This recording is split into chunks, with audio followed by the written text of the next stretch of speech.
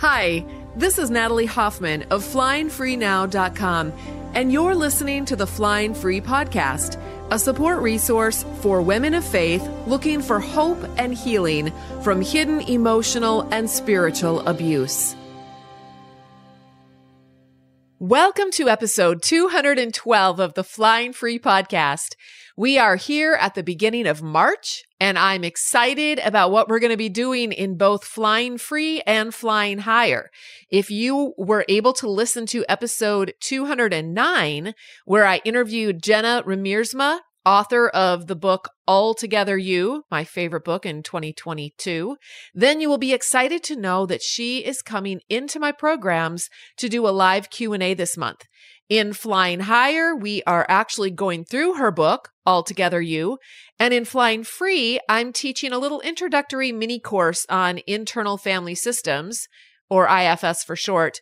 And I'm going to be teaching those on Saturdays. Now, members of Flying Free can attend live or they can listen to the replays on our private podcast. So it's going to be an exciting year for both of these programs.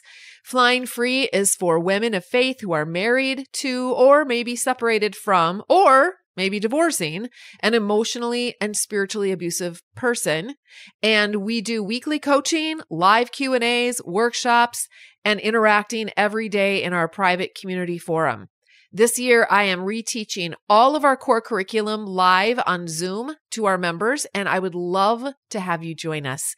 You can learn more about Flying Free by going to joinflyingfree.com. We keep it super affordable so that as many people as possible can join.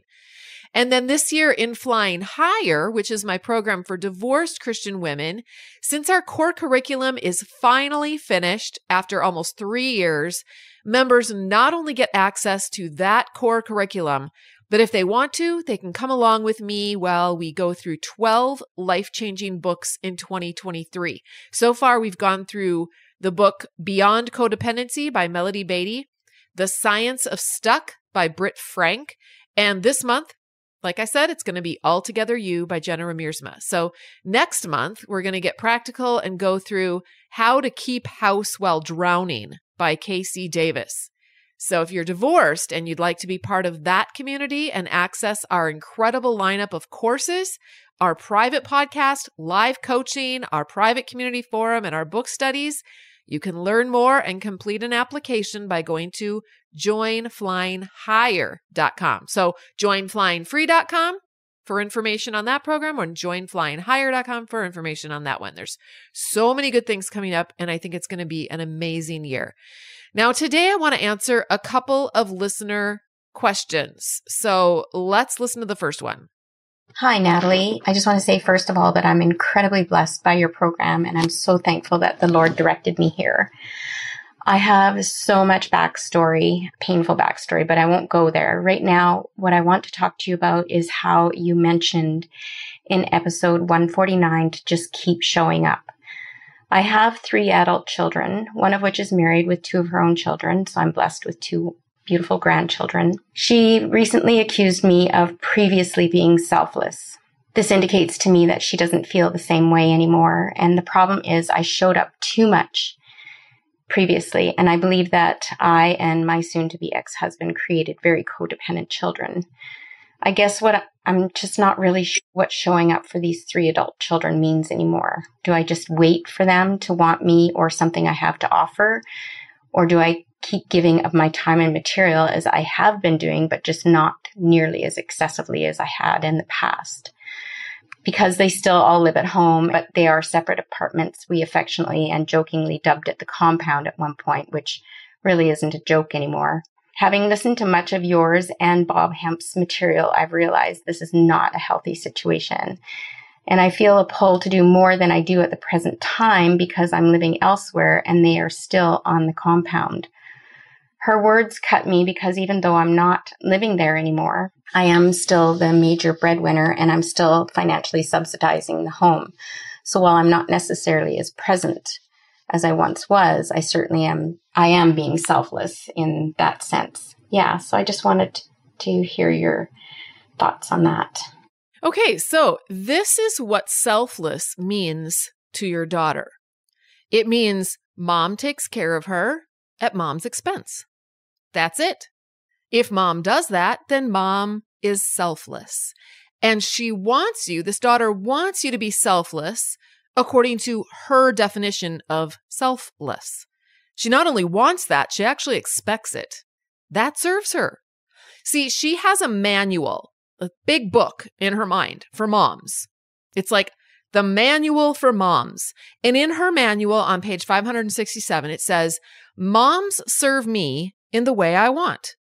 And I want a place to live rent free. And I want free babysitting. And I want free advice and free time and free resources when it is best for me. That is my mom's job. So we can guess from that that her definition of selfish is when mom does not do these things for her. Instead, mom takes care of mom's life. How selfish for my mom to take care of her own life. That's not her job. Naughty mom. I'm going to let her know. This is like a parasite a flea who says to the dog, No, you can't wear a flea collar. That is so selfish. Now I'm going to have to find another dog to suck on. If you were a good dog, you'd let us fleas eat you alive. Bad dog. I think the first most important thing for you to see is that this is where your daughter is right now. This is where she is. This is what she believes. She is stuck in emotional childhood. Now, she may be living in an adult body and she might be raising two kids, but she is still emotionally immature. She still needs to develop further along in her emotion. She has a ways to go in her emotional development. Now, your time raising her is over. You are no longer responsible for her. She is an adult responsible for herself and her own two children. And this is the second most important thing for you to recognize. So, first, your daughter is behaving as if she is an emotional child who refuses to take personal responsibility for herself. And second, you are not responsible for her. Those are two truths. Now, the question is, what are you going to do in light of that reality? You cannot control her, what she believes, how she feels, and how she behaves. All of that is 100% her choice and her responsibility, and 0% yours. But what you believe, how you feel, and what you do about this is 100% in your court. Now, I know what I would do. First of all, I would sell that compound and I'd invest the money in my 401k for my retirement so that I don't have to rely on my kids to survive when I'm old. That is my responsibility, not theirs. Do you see this? I take responsibility for me and my future, and I don't expect my kids to do that. And vice versa, they take responsibility for theirs, and they don't expect me to do that for them. That's called adulting. Then I would sit down and decide what I wanted to offer of myself as far as babysitting and so on.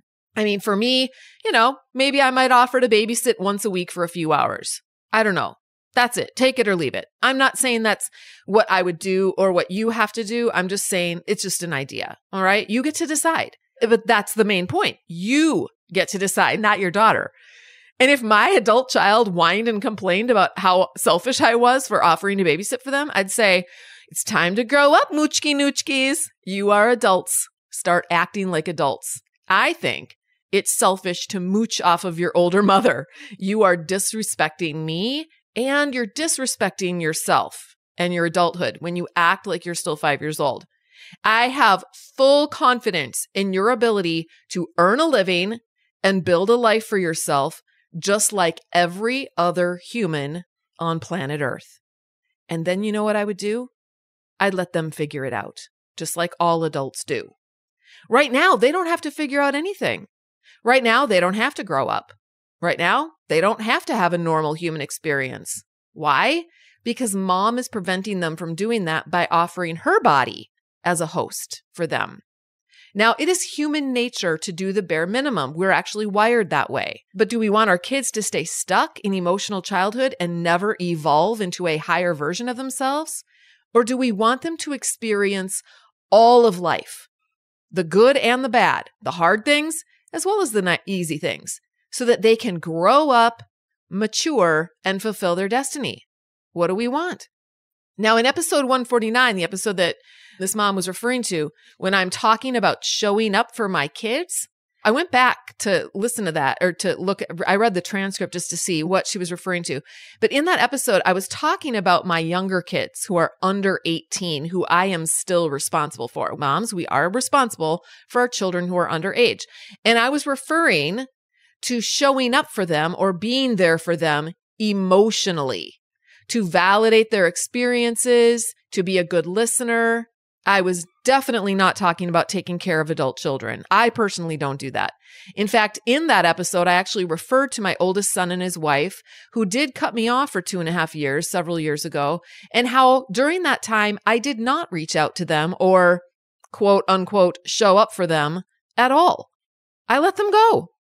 And I explained in that episode how letting go is how we ultimately have a shot actually at winning them back in a healthier, more mature relationship that's based on mutual love and respect for one another, including an understanding of one another's differences and an acceptance of one another's differences. Now, when my son and his wife were ready for that, they came back. And our relationship is better than ever. But I have never taken care of my adult children because that is not my job.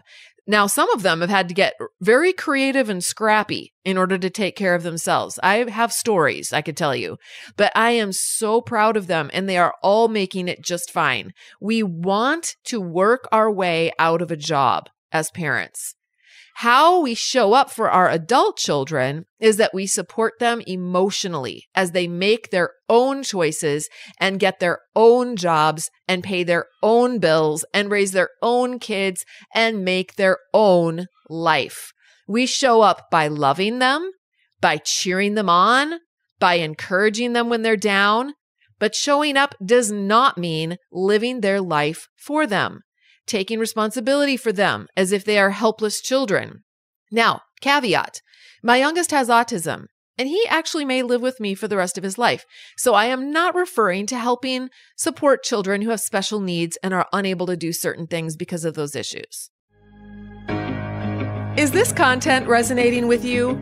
I've written a book for women of faith in destructive relationships called Is It Me? Making Sense of Your Confusing Marriage, a Christian woman's guide to hidden emotional and spiritual abuse. You can read reviews and find out more about my book on Amazon.com. It comes in paperback, Kindle, and Audible formats. I've also created a companion workbook for Is It Me, also available on Amazon. This workbook is like 11 power packed therapy sessions to help you process through the important material you'll be learning from my book. These books are recommended by counselors and therapists all over the United States. I've also got a website specifically focused on helping women of faith find hope and healing.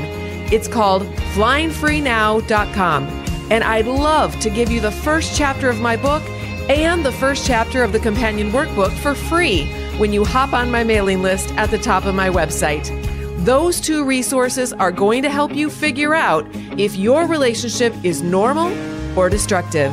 Now, let's get back to our episode. All right, let's listen to the next question. I was wondering if you could speak on the issue of sometimes why an abuser is the one that files for divorce from the victim. I left my ex-husband with the four kids. And then about a month later, I was served with divorce papers from him. And I know typically it's the other way around. The victim usually has to divorce the abuser. So I was wondering if you have any thoughts on why the abuser in my case is the one that filed for divorce from me. I do know that my ex-husband has some strong narcissistic personality traits and he was covertly abusive, especially mentally, emotionally, spiritually, financially, not too much physically, but in every other area he was. Thank you. Well, some abusers are narcissists, and if they sense that their narcissistic supply has dried up, they will discard that person and set out to find a new supply. So when you left him, that was his clue that you were no longer going to be a good supply. So he's like, okay. And he filed for divorce they don't care about their partner the way that you care about them. They view you as it's kind of like the flea dog thing. You're their dog and they're a flea. And all you're good for is, you know, getting whatever. What do fleas do? that Do they suck blood? I don't even know what they do. Anyway, all you're good for is getting you're a food supply for them. And if you're going to get a flea collar on, then they're just going to go to another dog, right? Okay. One of the reasons that we don't see this though as much in marriages where the husband is a professing Christian and invested in being part of a church and looking good to everyone in his religious circles is because that kind of a guy is going to know he'll be labeled as the bad one if he files. And he wants everyone to think that his wife is the bad one. So in that case, it's more about image management than anything else. That kind of a guy is, so it really depends on what your guy is interested in. Is he interested in narcissistic supply? He'll just discard you and move on to the next one. If he's more interested in image management, then he might try to be super mean and force you to file for divorce. We actually see that a lot in our private forum. Women are like, I think he's actually trying to make me file for divorce. He just refuses to file. He keeps threatening, but he won't actually do it.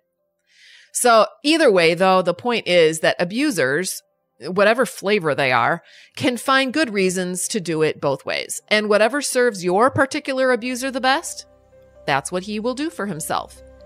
Focusing on the abuser and his motivators and his choices, you know what that does, you guys?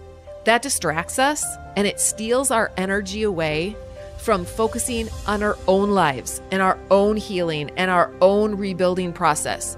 So I find it to be a waste of time. It's when I was able to just let go of my ex and focus on my own life and my own healing that I was finally able to find my groove and the flow of my own life. That's when I really began to gain momentum and start moving forward. Now, if you're divorced and you want help with this refocusing and rebuilding of your own life, we can do that together in the Flying Higher program for divorced Christian women. Just go to Join Flying Higher for more information. You guys, that's all I have for you today. Thank you so much for listening. And until next time, fly free.